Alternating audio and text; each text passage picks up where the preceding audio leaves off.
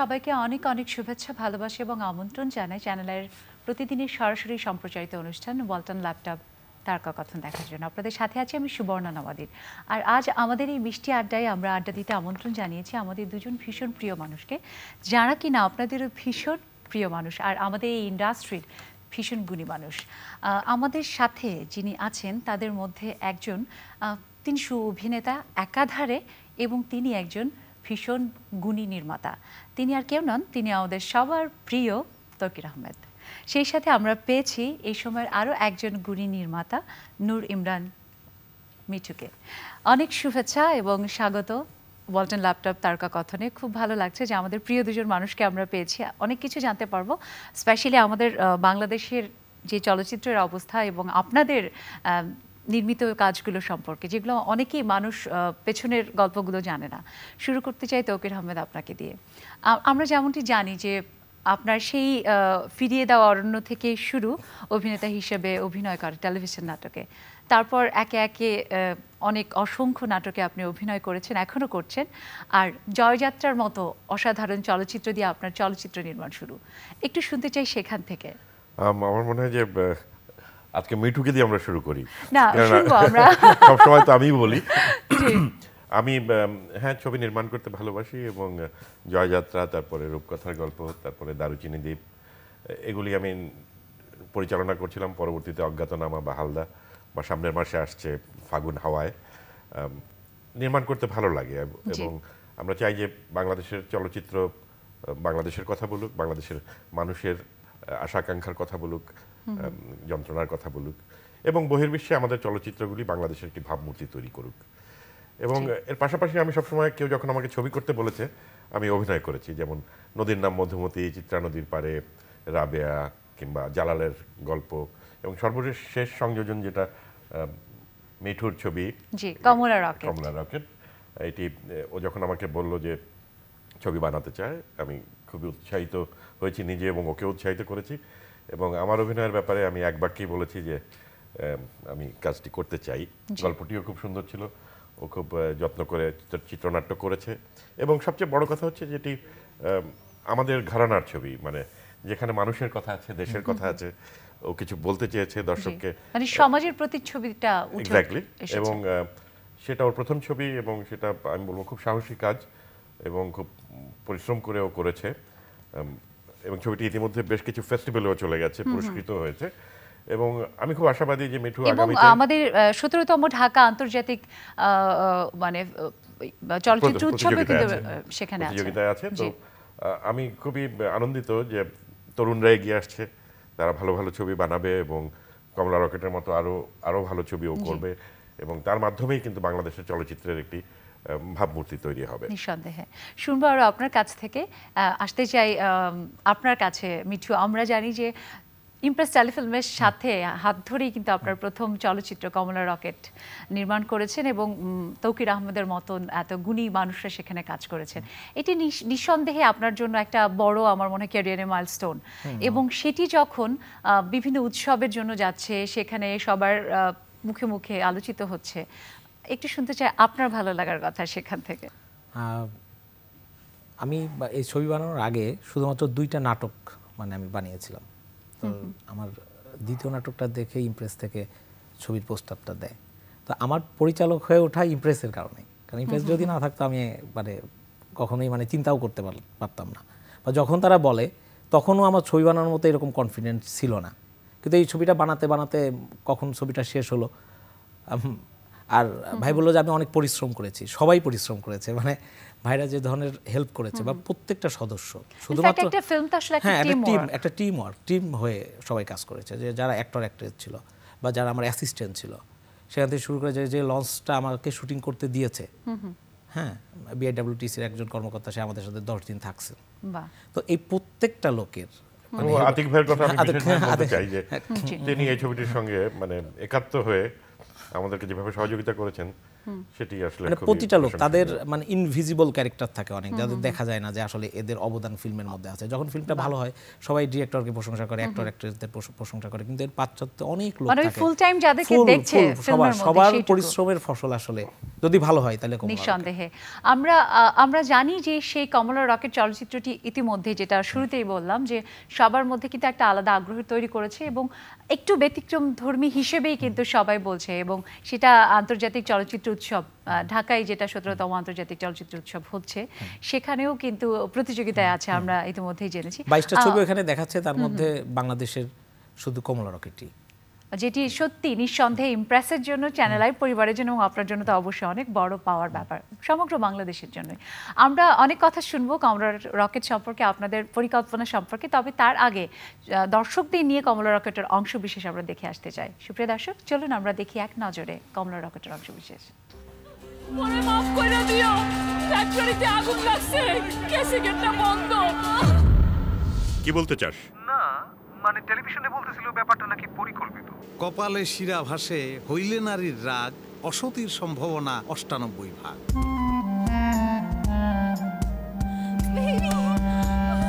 সারা জীবন চোরবার টরের লগে থাকবা জীবনও মজা শেষ হইবে না। এইভাবে আর কতদিন? এসব নিয়ে ভাববার অনেক সময় আছে বেবি। আমাকে এখন যেতে হবে। আপনি একাই যাচ্ছেন? ভাবি আসেননি? হুম? না আমি বিয়ে করিনি। নিজের জন্য যাব আসলে ওই ফায়ারটা ইন্টেনশনালি লাগানো হয়েছে। পুলিশও তাই ভাবছে।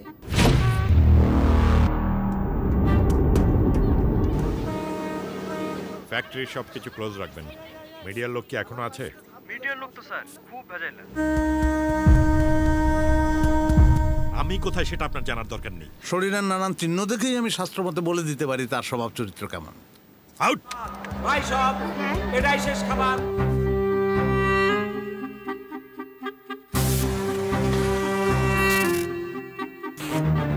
আপনি তো পুরো ব্যাপারটা ম্যাসাকার করে ফেললেন। মোর সব শেষ হয়ে গেল আব্বা চা পাতা টাতা কিছু দেও নাই। খান স্যার জিব্বাই সাদা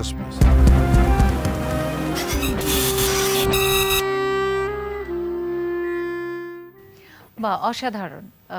একেবারে জীবনের কথাগুলো খুব চমৎকারভাবে এখানে তুলে ধরা হয়েছে। বাট আমার মনে হয় যে চলচ্চিত্র মানে চিত্রায়নটা খুব চ্যালেঞ্জিং ছিল। যেই সব শর্টগুলো আমরা দেখলাম যতটুকু বুঝি মানে খুব সময় সাপেক্ষ এবং খুব মানে সূক্ষ্ম সূক্ষ্মভাবে কাজগুলো করতে হয়েছে। একটু জানতে চাই সেই অভিজ্ঞতার কথা।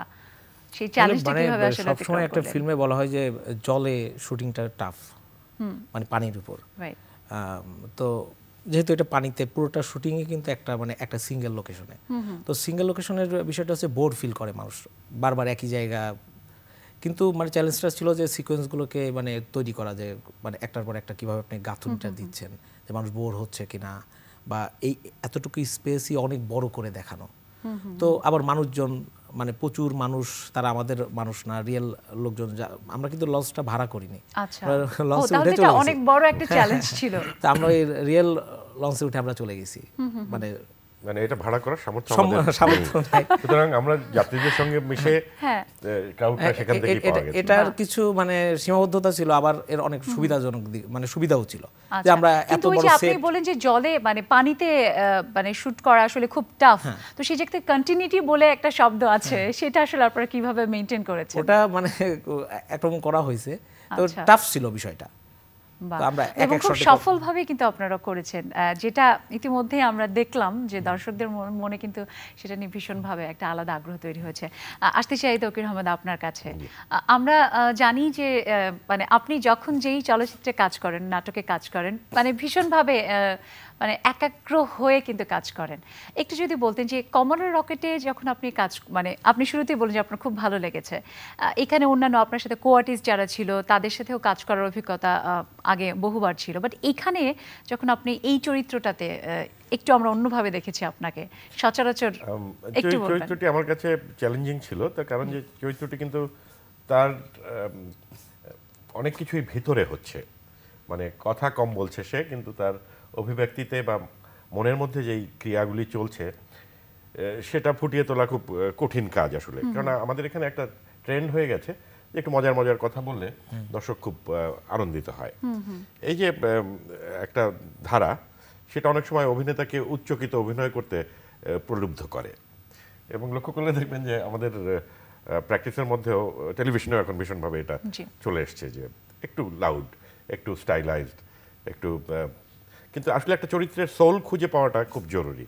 আমি কতটা খুঁজে পেয়েছি জানি না তবে চেষ্টা করেছি এবং আমি সবসময় তাই করি যে একটা স্বাভাবিকতা যদি চরিত্রটার মধ্যে ধারণ করা যায় তার অবস্থান থেকে তার ভাবনা থেকে তার আত্মাটাকে যদি খুঁজে পাওয়া যায় না আমরা যে মানে দৃশ্যগুলোতে দেখলাম আপনার চরিত্রায়ন মনে হলো যে মোর দেন পারফেক্ট মানে যেভাবে আপনি ওই যে ফোনে যে একটা নির্দেশনার কথা না অনেকে বলেছেন যে অত ভালো হয়নি। অবশ্যই যখন কেউ বলে যে অত ভালো হয়নি তখন একটু মন খারাপ হয়। হয়তো ভালোর তো আসলে কোনো শেষ নেই আরও অনেক ভালো করা যেত হয়তো বা আমি এটুকু পেরেছি। এবং সেটার পিছনে আমার ওই ব্যাখ্যাটা আমি দিতেই চাই যে আসলে অনেক কিছু করা আধুনিক অভিনয় না। বরং অনেক ভিতর থেকে চরিত্রটিকে প্রকাশ করাই আধুনিকতা সেটা আমার আমার কাছে মনে খুব চমৎকার বলেছেন আপনি। আসলে যে অভিনেতার একেবারে এক একটা চরিত্রের যে ব্যাপারগুলো সব মানে ডালপালা মেলে না বরং সূক্ষ্ম সূক্ষ্ম ব্যাপারগুলোকে তুলে ধরা অসাধারণ। আমরা একটু আসতে চাই আবারও মিঠু আপনার কাছে। আমরা যেমনটি জানি যে ইতিমধ্যেই কমলা রকেট নেটফ্লিক্সে জায়গা করে নিয়েছে যেটা অবশ্যই একটা বড় পাওয়া। একজন পরিচালক হিসেবে আপনার কাছে শুনতে চাই যে নেটফ্লিক্সের সাথে যোগাযোগ করে এই যে মানে সেখানে জায়গা করে নেওয়ার ব্যাপারটা সেটাও একটা বড় চ্যালেঞ্জ একটু যদি বলেন। এটা চ্যানেল আয়ের কৃতিত্ব আমি মনে করি? কারণ আবু শাহেদ ইমন যিনি। চ্যানেলের ফিল্ম দেখেন ওনারাই মূলত আসলে যোগাযোগটা করেছেন। আর এর আগে আমার ছবিটা জাফনা ইন্টারন্যাশনাল ফিল্ম ফেস্টিভ্যালে বেস্ট ফিল্মের অ্যাওয়ার্ড পায়। তারপরে গোয়াতে গোয়া হচ্ছে ইন্ডিয়ার মানে IFFI international film festival of India সেখানে এটা প্রদর্শিত হয়েছে এবং ব্যাপক মানে প্রশংসা পায়। তারপরে নেপালে আগামী মাসে প্রদর্শিত হচ্ছে। তারপরে চেন্নাইতে এবং মুম্বাইতেও প্রদর্শিত হয়েছে। তো সব সবগুলোই আমার জন্য মানে আমার এই ছোট্ট ক্যারিয়ারে আমার মানে অনেক মানে অভিভূত। আমি এত কিছু পেয়ে। মানে এটা ডেফিনেটলি একটা বড় মাইলস্টোন আপনার তারপর যখন নেট- নেটফ্লিক্সে গেল তখন ওইগুলোর সাথে মানে অর্থনৈতিক কোনো সম্পর্ক ছিল না। যখন নেটফ্লিক্সে গেল এটা একই সঙ্গে সারা পৃথিবীর মানুষের সামনে চলে আসলো ছবিটা আর অর্থনৈতিকভাবেও আমার প্রডিউসার লাভবান হলো। কিন্তু আমি শেষ পর্যন্ত চাই যে মানুষ ছবিটা দেখুক এবং পরের ছবিটা যাতে আমি বানাতে পারি. আমরা আমরা প্রত্যাশা রাখি যে কমলা রকেট এভাবেই ভেসে ভেসে ভেসে সবার মানে সারা পৃথিবী বাংলা এই চলচ্চিত্রটিকে খুব চমৎকারভাবে তুলে ধরবে। শুনব আপনার কাছ থেকে আরও। আমরা যদি তৌকির আহমেদের জয়যাত্রার কথা বলি, সেই জয়যাত্রা দিয়ে কিন্তু আপনার জয়যাত্রা শুরু। এরপরে আপনি সেটিও ইমপ্রেস টেলিফিল্মের ছবি এবং তারপরে আপনি মানে অনেকগুলো ভালো ভালো ছবি করেছেন। কিন্তু জয়যাত্রা আপনার জন্য অনেক বড় চ্যালেঞ্জ ছিল যেহেতু মুক্তিযুদ্ধ ভিত্তিক একটা চলচ্চিত্র এবং সেখানেও অনেক মানে জলে ভাসা কাজ ছিল। একটু যদি বলেন সেই সম্পর্কে। হ্যাঁ আসলে ও যেটা মিঠু ইতিমধ্যে বলেছে যে জলে কাজ করা সবচেয়ে কঠিন এবং সব শক্তিমান অভিনেতারা সেখানে ছিলেন। জয়যাত্রাটা আরও কঠিন ছিল কেন? ওটা ছোট একটি নৌকা আমাদের ক্যারেক্টার চারটা নৌকা বোধহয় আরও মানে। আরও সাতটি ট্রলার সেটাকে সাপোর্ট করতো। কিন্তু নৌকায় যেটা ঘটে সেটা হচ্ছে প্রতি মুহূর্তে তার অবস্থান পরিবর্তন হতে থাকে। এবং তার স্রোতের সঙ্গে যখন অবস্থান পরিবর্তন হয় তখন লাইট কন্ডিশনটাও চেঞ্জ হতে থাকে। ওইখানে এই লাইটের কন্টিনিউটি রাখা। ফ্রেমের কন্টিনিউটি রাখা খুব কঠিন হয়ে দাঁড়ায়। এবং কমলা রকেটে আমাদের একটু সুবিধা ছিল যে একটি বড় স্টিমারের মধ্যে আমরা ছিলাম। কিন্তু ওখানে একটি খুব ছোট নৌকা এবং সেখানে গাদাগাদি করে একদল লোক সেটা খুবই কঠিন ছিল এবং আমার মনে হয় যে আমরা খুব কৃতজ্ঞ আমার শিল্পীদের কাছে যে তারা পরিশ্রম করেছেন রোদে বৃষ্টিতে ভিজেছেন। এবং সেই কারণে কিন্তু তাদের এই এত কষ্ট এবং আপনার এই চ্যালেঞ্জের কারণেই এত চমৎকার একটা ছবি বাংলাদেশের চলচ্চিত্র এখানে আরেকটা জিনিস আমি অ্যাড করতে চাই যে সেই সময়টা আছে দু আর আজকে দু হাজার উনিশে। পনেরো বছরের কিন্তু অনেক পার্থক্য। পার্থক্য হয়ে গেছে। সেই সময় ছবি আমরা দেখাতে পারিনি মানুষকে। পরবর্তীতে হয়তো টেলিভিশনে বা ফেস্টিভ্যালে দেখেছে মানুষ কিছুটা। কিন্তু আজকে এই যে প্ল্যাটফর্মগুলি আসছে নেটফ্লিক্স বলি বা এ ধরনের ইউটিউব, বা হুম, হুম, তো ইউটিউব বা এখন ইউটিউব থেকে যেটা ঘটে ইউটিউবে আমাদের ছবি আগে পাইরেসি হয়ে চলে যেত। অজ্ঞাতন আমার ক্ষেত্রেও তাই হয়েছিল। তো সেখান থেকে প্রযোজক লাভবান হতে পারেন পারেন না। কিন্তু আবু শাহিদ ইমন আমাদের কলিগ এবং ভালো নির্মাতা সে আধুনিক ছেলে এবং সে অত্যন্ত গুরুত্বপূর্ণ একটি কাজ করেছে। যে কমলা রকেটকে সে নেটফ্লিক্সে নিয়ে গেছে। এটি আগে ইতি- ইতিপূর্বে ফারুকির কিছু ছবি গিয়েছিল। দুইটা ছবি। কিন্তু আমার অজ্ঞাতনামা যেতে পারেনি কারণ যেহেতু ওটা আগেই পাইরেসি হয়ে গিয়েছিল। এবং হালদারও প্রডিউসার আর একজন এখন প্রডিউসারের ইচ্ছার উপরে কিন্তু নির্ভর করে অনেকখানি তিনি কোথায় কীভাবে প্রচার করবেন। মানে বাণিজ্যিকীকরণের ব্যাপারটি তো আসলে হ্যাঁ, প্রডিউসার তো আমি বলব যে চ্যানেলাই একটি যুগোপযোগী কাজ করছেন এবং আমাদের সব ছবিতেই তাদের সাপোর্ট আছে। যেটা ডাইরেক্ট ফিনান্স আছে সেটা তো আছেই। যেটাতে ডাইরেক্ট ফিনান্স নাই সেখানেও আমি নিজের ঘরের মতোই পাবলিসিটি করি কারণ আপনারা একেবারেই চ্যানেল আই পরিবারের ইমপ্রেসার খুব একেবারে পরিবারের সদস্য কাছের মানুষ। আহ, আমরা আপনার সেই জয়যাত্রার মানে আপনি যে চ্যালেঞ্জের কথাগুলো বলছিলেন আরেকবার মনে করে দিতে চাই সেটার অংশ বিশেষ দেখে। সুপ্রিয় দর্শক, আমরা দেখলাম জয়যাত্রা চলচ্চিত্রের অংশ বিশেষ সত্যি অসাধারণ। মানে একদিকে যেমন আপনি একজন গুণী নির্মাতা হিসেবে এত মানে সূক্ষ্মভাবে কাজটা করেছেন, বাংলাদেশের মুক্তিযুদ্ধ এবং বাংলাদেশের তখনকার মানুষের যে জীবন এবং একটা ওই রকম অস্থিরতা, সেই সাথে গুণী যারা অভিনেতা, অভিনেত্রী ছিলেন, তারাও কিন্তু মানে অসামান্য অভিনয় করেছেন। একটু শুনতে চাই, নিশ্চয়ই মানে অলরেডি আপনি বলেছেন যে খুব চ্যালেঞ্জিং ছিল। হ্যাঁ যেমন এই যে দৃশ্যটি আপনি দেখলেন যে একটি নেভির একটি জাহাজ যেটি দেখা যাচ্ছে এটি কিন্তু খুব অথেন্টিক সেই পাকিস্তান পিরিয়ডের জাহাজ এবং সেটি নেভির কাছে যখন আমি অ্যাপ্লাই করি তারা সুন্দরবন থেকে এই জাহাজটিকে শীতলক্ষায় নিয়ে আসেন এবং সেটিকে সাজান পাকিস্তানি পদাতিতে। ওখানকার যিনি কমান্ডার ছিলেন সম্ভবত ওনার নাম ছিল জালাল ভাই উনি নিজে উদ্যোগী হয়ে আমাকে অনেক হেল্প করেছেন। এবং এই যে সিনেমার পেছনে যে অনেকের সাহায্য থাকে সেটা দেখা যায় না। অনেক সময় অনেক সময় আমরা হয়তো সেভাবে কৃতজ্ঞতাও জানাতে পারি না। আজকে আমি বলতে চাই যে হুমায়ুন ফরিদি আজকে আমাদের মধ্যে নেই কিন্তু তার মতো অভিনেতার দরকার ছিল আমাদের। তারিক আনাম খান কি অসাধারণ অভিনয় করেছেন। এরকম এই ছবিতে আবুল হায়াত থেকে শুরু করে নাজমা আনোয়ার তিনিও আজকে নাজমা আনোয়ার আমাদের মধ্যে নেই খুব গুণী গুণী শিল্পীরা আছে। আজি ইউল হাকিম পাশা হায়াত থেকে শুরু করে অনেকে কাজ করেছেন। সবার নামও হয়তো বলে শেষ করা যাবে না। এখানে আমার যেটা মনে হয় যে একটি ছবি আসলে যদি টিকে থাকে সময়ের সঙ্গে মানুষ যদি সেটিকে ভালোবাসে তাহলেই সার্থকতা। আমাদের ছবিগুলিতে আমরা খুব বাণিজ্য করতে পারি না আমরা প্রচারও করতে পারি না এটা আমাদের ব্যর্থতা বলব। কিন্তু এখনও যখন কোনো টেলিভিশন চ্যানেলে দেখানো হয় প্রমোতে জয়যাত্রা মানুষের মধ্যে কিন্তু এটা নিয়ে একটা আগ্রহ তৈরি হয়। সেটি আসলে একজন নির্মাতার জন্য সব আমাদের একটা বড়। ব্যর্থতাও আছে সেটা হচ্ছে যে সিনেমার আসল রূপ কিন্তু সেই বড় পর্দা। বড় পর্দা। ওই স্কেলটা না ধরতে পারলে টেলিভিশনে ছবি দেখে আসলে মূল স্বাদটি কখনোই পাওয়া যাবে না। এই জায়গা থেকে একটু আমরা মানে অফ দ্য স্ক্রিন কথা হচ্ছিল যে আসলে আমাদের হলগুলোর অবস্থা বারবারই এটা নিয়ে নানা রকম আন্দোলন হচ্ছে সবাই বলছেও কিন্তু আমরা আসলে ঠিক সমাধানের জায়গায় পৌঁছতে পারছি না। আপনার মতামত কি এই ব্যাপারে? কি করা আমার মনে হয় যে এ ব্যাপারে রাষ্ট্রীয় পলিসি দরকার। কেননা এটি অনেক ব্যয় সাপেক্ষ ব্যাপার। সাংগঠনিক দক্ষতা দরকার এটা করার জন্য এবং কারিগরি দক্ষতাও দরকার একই সঙ্গে অর্থ দরকার। সেটি রাষ্ট্র বা বেসরকারি খাতেও হতে পারে কিন্তু আমার মতে যে এই ইনফ্রাস্ট্রাকচারটাকে রাষ্ট্র যদি ঠিক করে দেয় তাহলে আমাদের চলচ্চিত্রের জন্য তার পরবর্তী আসলে তারপরে হয়তো এই চলচ্চিত্রটাকে আমরা রাষ্ট্র গঠনেই কাজে লাগাতে পারি। মানুষকে সচেতন করার জন্য তাকে সুনাগরিক হিসেবে গড়ে তোলার জন্য তাকে রুচিশীল মানুষ হিসেবে গড়ে ওঠানোর জন্য শিল্প মাধ্যমগুলি কাজ করতে পারে। অর্থনৈতিক অর্থনৈতিক প্রবৃদ্ধির পাশাপাশি আমি বলতে চাইছি যে সাংস্কৃতিক বিকাশ এবং শিক্ষার উন্নতি দরকার। না হলে আমরা জাতি হিসেবে এগো- এগোতে পারব না। অসাধারণ বলেছেন আপনি। আসতেছি ইমরান মিঠু আপনার কাছে। আমরা জানি যে ইতিমধ্যেই আপনার মানে সব মিলিয়ে যে পথ চলা সেটা খুব খুব খুব বর্ণাঢ্য হচ্ছে। এখন আসলে নিজেকে নিয়ে কি ভাবছেন কীভাবে কাজ করবেন এগোবেন একটু পরিকল্পনাটা জানতে চাই নেক্সট প্রজেক্ট সম্পর্কে। আমি তো ছবি বানাতে চাই প্রতি বছরই ছবি বানাতে চাই। আমাদের সেই প্রত্যাশা। শুধু ছবি বানাতে চাই আর কিছু আর কিছু না। সেদিন আমাদের কথা হচ্ছিল আসলে যে ওর পরবর্তী কাজের কথা হচ্ছিল যে সেখানে স্ক্রিপ্ট রেডি আছে ওর ভাবনাগুলি আছে অনেকগুলি পরিকল্পনা আছে কিন্তু ঠিক প্রপার ফান্ডিংটা এখনও সে পায়নি। এবং এটা আমাদের প্রতি ছবিতেই তাই ঘটে আর কি যে আমরা একটি কাজ করার পরে আর একটি ছবি শুরু করা একটি বিশাল চ্যালেঞ্জ বিশেষ করে ওদের মতো তরুণদের জন্য। সেটা খুব কঠিন কাজ এবং আমরা আশা করব যে এই প্রতিবন্ধকতাগুলিও দূর হবে আস্তে আস্তে। যে যারা পৃষ্ঠপোষকতা করবেন তাদেরকেও একটু এগিয়ে আসতে হবে। আর দর্শককেও একটু এগিয়ে আসতে হবে কেননা হলে গিয়ে ছবি দেখতে হবে এটার কোনো আসলে বিকল্প হতে পারে না। হলে তো আমাদের ছবি যেতে হবে আগে হ্যাঁ।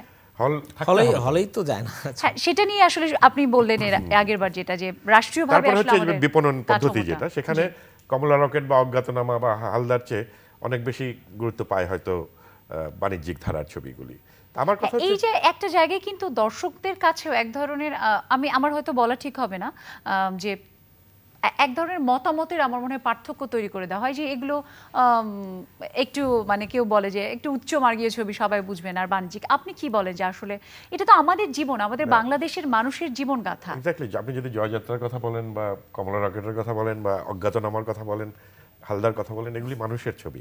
কিন্তু আমার কথা হচ্ছে হ্যাঁ মানুষের বাণিজ্যিক ধারার ছবির প্রতি হয়তো আকর্ষণ আছে বেশি সেটা খুবই স্বাভাবিক। কিন্তু কিছু হল থাকা উচিত যেগুলিতে সাবসিডাইজড হলেও ভিন্ন ধরনের ছবি যাতে চলতে পারে। আহ, সেগুলি জেলা শহরে হতে পারে। ঢাকা শহরেই নেই সেখানে জেলা শহর কি করে আশা করব আসলে? আসলে এই এই জায়গাটা আসলে আমাদের মনে হয় যে অনেক সীমাবদ্ধতা রয়েছে যেগুলো আসলে কাটিয়ে ওঠা উচিত। কারণ না হলে আমাদের যে এই আমরা বলি স্বর্ণালী সময় স্বর্ণালী সময় চলচ্চিত্রের কিন্তু এখনও তো স্বর্ণালী আপনারা কত ভালো ভালো চলচ্চিত্র বানাচ্ছেন সেগুলো আসলে আমরা ঠিকভাবে পৌঁছতেই পারছি না।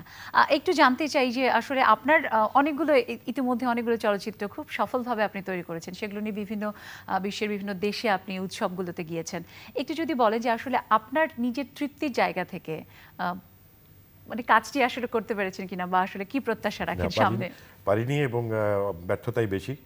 তার কারণ যে প্রতিটি কাজের পরেই মনে হয় যে আরও অনেক ভালো হতে পারতো। খুব বিনয়ী। এবং বিনয় এবং এই অতৃপ্তি আমি শুধু বিনয় বলব না এটি সত্যি আসলে যে অতৃপ্তি নিয়ে আমরা কাজ করি সেটা আমাদের চালিকা শক্তি অবশ্যই আগে। কারণ পরবর্তী কাজ হয়তো আরও ভালো করার স্বপ্ন দেখি কিন্তু এখনও তেমন কিছু করা হয়নি আসলে। বা খুব চমৎকার। আমরা জানি যে একাধারে যেমন আপনি আহ, জয়যাত্রার মতো অজ্ঞাতনামার মতো চলচ্চিত্র করেছেন আবার দারুচিনী দ্বীপের মতো গল্প নিয়েও কিন্তু আপনি চলচ্চিত্র করেছেন। সেই অভিজ্ঞতার কথা খানিকটা একটু শুনতে চাই। জয়যাত্রার পরে আমি আরেকটি ছবি করেছিলাম রূপকথার গল্প। রূপকথা গল্প। মিঠু ওটার খুব প্রশংসা করে কিন্তু ছবিটি একদমই হল পেয়েছিল না সেই সময়। একটা দুটা হলে গিয়েছিল। বাণিজ্যিকভাবে চলেনি। কিন্তু ছবিটি যারা দেখেছেন তারা পছন্দ করেছিলেন। তারপরে আমার জন্য আসলে একটি ছবির ফান্ড পাওয়াই দুরূহ হয়ে গিয়েছিল। কেননা লোকে ধরে নেয় যে ওনার ছবি তো আসলে হলে চলবে না। তো এটা আসলে ওই সময়টা আমার জন্য খুবই জটিল ছিল এবং তখন আমার কাছে যখন এমপ্রেস থেকে দারুচিনি দ্বীপের প্রজেক্টটির কথা বলা হয় আমি বুঝতে পারি যে এটি ঠিক আমার ভাবনার জায়গার ছবি না। কিন্তু আমি চ্যালেঞ্জটি গ্রহণ করি এবং করে একটি এন্টারটেইনিং ছবি বানানোর চেষ্টা করি এবং সেটি ইয়াং জেনারেশন খুব পছন্দ করে সেই সময়। রুচিশীল দর্শক একদম তরুণ নতুন অভিনেতা অভিনেত্রী এখানে হুমায়ুন আহমেদকে ধন্যবাদ দিতে হয়। তার উপন্যাসের আহ, গল্পটির জোর ছিল। অভিনেতা অভিনেত্রীরা বেশিরভাগই তরুণ ছিল। তখন মোশারফও অনেক অনেক নবীন বা মমত মম তখন কেবল এসছে বিন্দু এরা এসছে রিয়াজ ছিলেন। তো সবকিছু মিলিয়ে আমরা কাজটি আনন্দের সঙ্গেই করেছিলাম। আচ্ছা। এবং সেন্ট মার্টিন দ্বীপে সেই আনন্দটাকে এখন আরেকবার একটু বাড়িয়ে দিতে আমরা আপনার সেই দারুচিনি দ্বীপ চলচ্চিত্রের একটি চমৎকার গান দেখাতে চাই। বা খুব চমৎকার বাট এই চলচ্চিত্রটি কিন্তু তরুণ নতুন প্রজন্মের মধ্যে একটা আলাদা আমার মনে হয় আগ্রহ এবং মাত্রা যোগ করেছিল। আহ, আবারও অনেক অভিনন্দন। এত ভালো ভালো কাজ করেছেন, অনেক মানে মঞ্চে নিয়ে গেছেন বাংলাদেশের এই চলচ্চিত্রকে বাংলাদেশকে তুলে ধরতে, যেটার জন্য আমরা নিঃসন্দেহে ভীষণভাবে চ্যানেলাই পরিবার ইমপ্রেসের পক্ষ থেকে আপনাদের অনেক কৃতজ্ঞতা জানাই, সাধুবাদ জানাই যে এত লিমিটেশনসের পরেও কিন্তু আপনারা কাজ করে যাচ্ছেন। একদম শেষে চলে এসেছি, ছোট্ট করে একটু আপনাদের দুজনের কাছ থেকে দর্শকদের জন্য যদি কিছু বলার থাকে। মিঠু। দর্শকদের বলব যে আপনারা হলে আসুন ছবি দেখুন বা এই ধরনের ছবিকে সমর্থন করুন তাইলে পরে আমরা পরের ছবিটা বানাতে পারব। আমি এটাই বলতে চাই যে আসলে আমরা অর্ধেক কাজটি করি ছবিটা বানাই আমরা কিন্তু বাকি অর্ধেক দর্শককে করতে হবে। তারা যদি আমাদের ছবি দেখেন এবং সামনে কমলা রকেটের মতো মিঠু আরও অনেক ভালো ভালো ছবি বানাবে এই আশাবাদ ব্যক্ত করি এবং আমি সামনের মাসেই ফাগুন হাওয়ায় নামে একটি ছবি নিয়ে আসছি ফেব্রুয়ারিতে সেটা ভাষার গল্প উনিশশো বাউন্ন প্রেক্ষাপটে। দর্শকদের আমি অনুরোধ করব আপনারা যদি দেখেন ছবিটি আমাদের কাজ করাটি সার্থক হবে।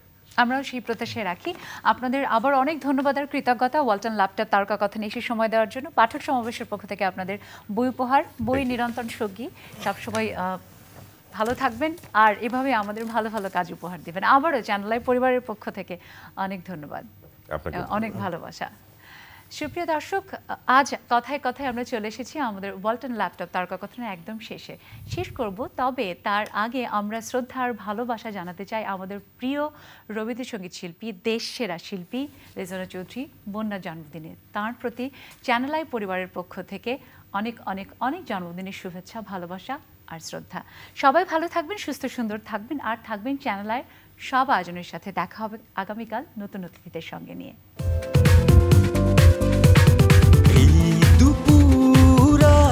আনন্দে ভরপুর। কথা হবে